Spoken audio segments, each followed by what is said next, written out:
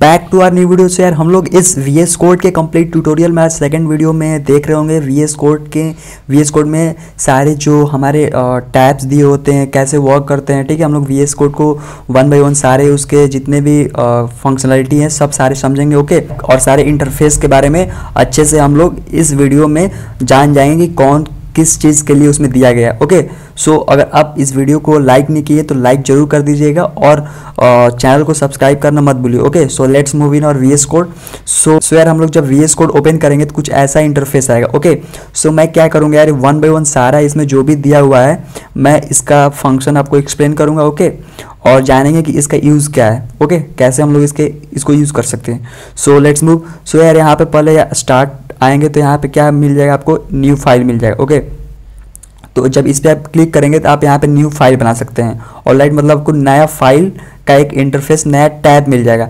आप यहाँ से एक फ़ाइल बना सकते हैं। फ़ाइल कैसे बनाएँगे यार? फ़ाइल हम लोग बना सकते हैं। अगर आप विंडोज़ में है तो आप कंट्रोल प्लस एस क्लिक करके यहाँ से डायरेक्ट फ़ाइल बना सकते हैं। जैसे मैं नामता हूँ V S code tutorial okay V okay तो मैंने यहाँ पे फ़ाइल बना दिया तो ये हमारा फ़ाइल वी एस को ट्यूटोरियल से सेव हो गया।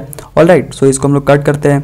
अब यहाँ न्यू फ़ाइल से हम लोग समझ गए, इसका मतलब क्या होता है? नया फ़ाइल बनेगा और हम लोग फ़ाइल बना सकते हैं ओके सो जो हमारा नेक्स्ट टैब दिया हुआ है नेक्स्ट जो यहाँ पे दिया ओपन यहाँ से हम लोग क्या कर सकते हैं यार यहाँ पे आप जब इसको यहाँ पे लाएँगे अपने माउस के कर्सर को तो यहाँ पे नीचे आपको दिख रहा है open a file or folder to start working so इस पर जब क्लिक करेंगे यार तो हम लोग यहाँ से फ़ाइल या फोल्डर ओपन कर सकते हैं। सो so, मैंने यार यहाँ पे डेस्कटॉप में अपना एक फ़ोल्डर बनाया हुआ है और फोल्डर का नाम मैंने रखा था वी एस कोड सो मैं इसको ओपन कर सकता हूँ यहाँ से। तो वो जो हमारा फोल्डर होगा ना वो फोल्डर में हमारा यहाँ पे ओपन हो जाएगा। अब हम जब इस फोल्डर को ओपन कर लेंगे और जो भी इसमें फ़ाइल बनाएँगे वो सारा हमारे इस वी एस कोड नाम फोल्डर में सेव होता जाएगा।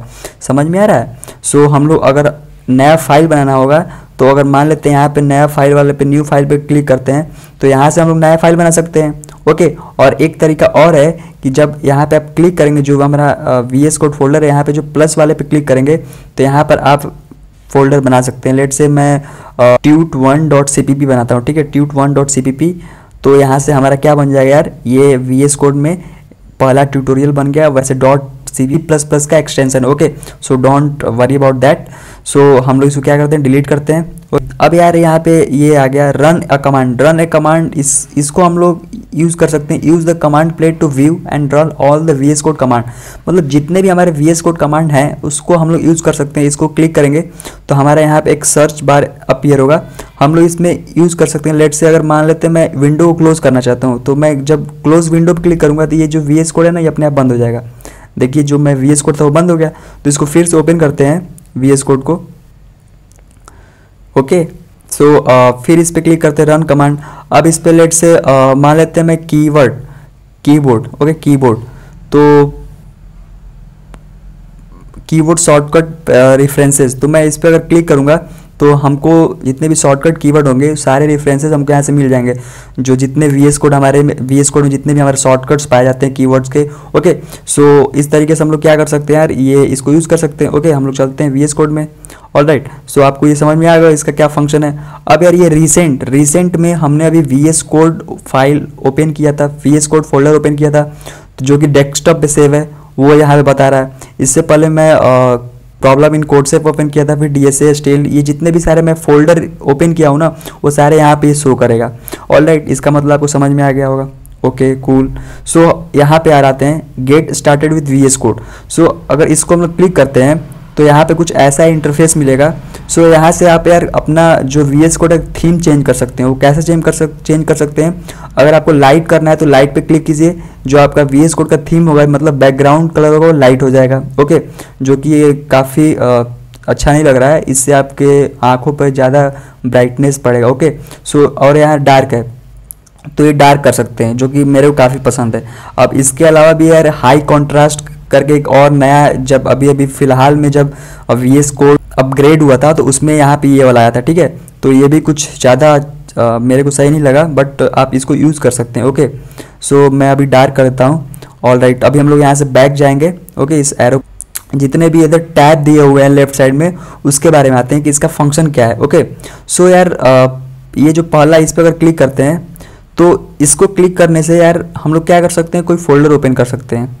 समझ में आ रहा है? अगर यहाँ से ओपन फोल्डर करेंगे तो वही वाला हमारा इंटरफेस ओपन होगा, जो कि हम लोग उस टाइम ओपन से आया था। तो इसमें हम लोग क्या कर सकते हैं? डेस्कटॉप पे क्लिक करके मैं यहाँ पर कोई भी V S code folder open कर सकता हूँ ओके और इसमें मैं to tut one dot C एक फ़ाइल बनाया था, जो कि यहाँ पे शो कर रहा है। समझ में आ रहा है? तो अभी मैं फ़िलहाल इसको कैंसिल करता हूँ। ऑल राइट अभी जब नेक्स्ट नेक्स्ट टैब पे आएँगे तो इसमें यार सर्च वाले में सर्च वाले में क्या कर सकते हैं? यार हम लोग कोई भी फोल्डर जो रिसेंट में ओपन किए होंगे, उसको हम यहाँ पे सर्च कर सकते हैं। ऑल राइट सो नेक्स्ट आते हैं यार ये सोर्स कंट्रोल जब इस पर क्लिक करेंगे यार तो इसमें क्या लिखा है? The folder currently open does not have a git repository you can initialize a repository which will enable source control feature powered by git okay so यार ये ये जो है आपको गिट हब से रिलेटेड है सो so इस ये आपको ज़्यादा यूज़ में नहीं आएगा. ओके okay, जो आप वी एस कोड में जनरली कोड करने के लिए यूज़ करेंगे इस आईडी को. सो so नेक्स्ट आते हैं रन एंड डिबग इससे यार आप क्या कर सकते हैं कि आप अपने कोड को या कोई किसी फ़ाइल को ओपन करके उसको रन कर सकते हैं डिबग कर सकते हैं ओके सो नेक्स्ट आते हैं यार ये रिमोट एक्सप्लोरर रिमोट एक्सप्लोर के बारे में मैं नेक्स्ट वीडियो में बताऊँगा क्यों? क्योंकि इसको अभी मैं डिटेल में एक्सप्लेन करूँगा. All right so remote explorer का क्या बेसिकली मतलब है ओके okay? इसको मैं अच्छे से आपको समझाऊँगा. सो so नेक्स्ट आते हैं यार एक्सटेंशन सो एक्सटेंशन यार वी एस कोड को रन करने के लिए अगर कोई प्रोग्राम प्रोग्रामिंग लैंग्वेज में हम कोड करते हैं लेट से सी प्लस प्लस में हम कोड करना चाहते हैं तो हमको सी प्लस प्लस को कोड करने के लिए हमको इसका एक एक्सटेंशन डाउनलोड करना पड़ेगा, जो कि सी सी प्लस प्लस से होता है ओके तो यहाँ से ये intellisense C C plus plus intelligence download करूँगा इंस्टॉल करूँगा तो हम लोग सी प्लस प्लस में कोड कर पाएँगे ओके तो ये एक्सटेंशन का ये मतलब है मतलब हम बहुत सारे एक्सटेंशन यहाँ से डाउनलोड कर सकते हैं ओके यहाँ लाइव शेयर ये गिटअप है ओके आप यहाँ से गिटअप को भी कनेक्ट कर सकते हैं अपने ओके अपने अकाउंट को, यहाँ से आप लाइव शेयर कर सकते हैं। यहाँ से आप शेयर कर सकते हैं अपने क्या start collaborating editing and debugging with others in real time okay you can also share with read only permission and joins other session समझ में आ रहा है? सो नेक्स्ट क्या है यार? और यहाँ पर, यहाँ पे क्या है यार? अकाउंट साइन इन रिक्वेस्ट मतलब कि जो भी आप अकाउंट बनाए होंगे, जैसे यहाँ पे दिखा रहा है sign in with GitHub to use GitHub pull request and issues and sign in with Microsoft to use live share मतलब हमको लाइव शेयर यूज़ करने के लिए गिटअप यूज़ करने के लिए हमको क्या करना पड़ेगा यहाँ पे? अपना जो अकाउंट है, उसको यहाँ पे साइन इन करना पड़ेगा। समझ में आ रहा तभी हम लोग इसको यूज़ कर पाएँगे। और राइट सो अभी ये, अभी आपको उतना यूज़ नहीं आएगा ये, आपके इस टैप को।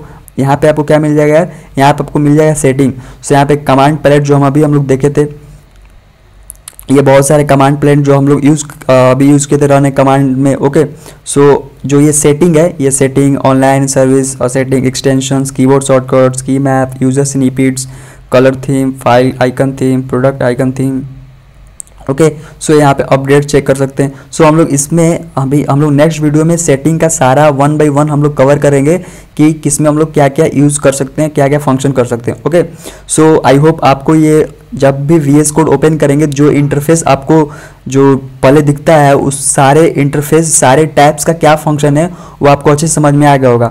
मैं इसमें आपको और एक्सप्लेन करता हूँ। यहाँ पर ये जो आपको ये ट्रिएंगल सेप में दिख रहा है एक्चुअली ये कोड रन करने के लिए यूज़ होता है। जब मैं इसको क्लिक करूँगा तो यहाँ पर दिखा है note code no code found और सेलेक्टेड मतलब मैंने कोई कोड लिखा ही नहीं है या सिलेक्ट नहीं किया, इसलिए ये रन नहीं हो रहा है। समझ में आ रहा है? ये एक्चुअली हम लोग कोड रनर जो हमारा एक्सटेंशन होता है, यहाँ पर कोड रनर यहाँ पे आ जाए कोड रनर एक्सटेंशन की वजह से यहाँ पे ये आइकन आता है। समझ में अगर आपके शुरुआती इंटरफेस जब आप लोग खोलेंगे तो अगर आप ये इंस्टॉल नहीं किए होंगे तो आपको ये आइकन नहीं दिखेगा। आप जब इंस्टॉल करेंगे तो आपको ये दिख जाएगा। ओके सो ये कोड रन करने के लिए यूज़ होता है। ये जो यहाँ पे दिख रहा है ये रेक्टेंगल में शेप में, ये आप यहाँ से अपने वी एस कोड के इंटरफेस को स्प्लिट कर सकते हैं। ओके सो इससे क्या हुआ यार कि आप इसमें दोनों में कोड यूज़ लिख सकते हैं।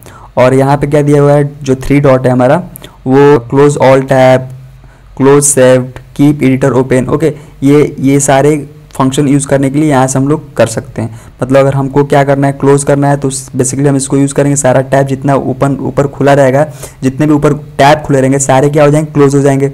और राइट और क्या दिया यार, यहाँ पर क्लोज सेव्ड सो हम क्या करेंगे यार, जितने भी हमारे फ़ाइल ओपन किए होंगे, जितने भी अगर फ़ाइल बनाए होंगे और उसको सेव नहीं किए होंगे तो क्या करेंगे इससे? इसकी हेल्प से हम लोग उसको सेव कर सकते हैं और उसको क्लोज कर सकते हैं। सो so, यहाँ पे ये क्लोज हो गया। समझ में आ रहा है? All right so I hope आपको काफ़ी अच्छे से ये second video V S code का आपको अच्छे से समझ में आ गया होगा कि सब का क्या क्या फ़ंक्शंस हैं। अभी कुछ कुछ मैंने नहीं बताया है वो मैं टाइम आने पे बता दूँगा। ओके जब मैं खुद का अकाउंट इसमें जब लिंक कर लूँगा तो इसका फ़ंक्शंस मैं आपको अच्छे से एक्सप्लेन करूँगा। Okay so don't worry about that और हम लोग नेक्स्ट वीडियो में सेटिंग का सारा फीचर्स देखेंगे, कैसे हम लोग यूज़ कर सकते हैं। हम लोग देख रहे होंगे यूज़र स्निपिट कैसे बनाएँगे स्निपिट्स क्या होते हैं। Okay so be tuned there and if you have not subscribe my channel please subscribe to my channel for more interesting video like this okay